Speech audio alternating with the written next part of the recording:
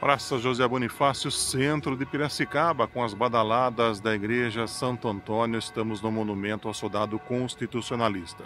Piracicaba teve grande participação e influência para os norte-americanos que aqui vieram fugindo da guerra de secessão dos Estados Unidos.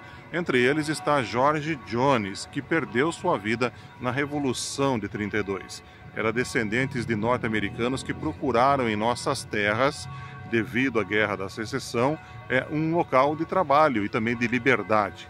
Era filho de Cícero Jones e Martha Jones. Nasceu em Piracicaba em 5 de março de 1902. Apresentou-se na Vila Americana, distrito de Piracicaba, hoje cidade de Americana. Foi incorporado ao Batalhão 23 de Maio na capital paulista.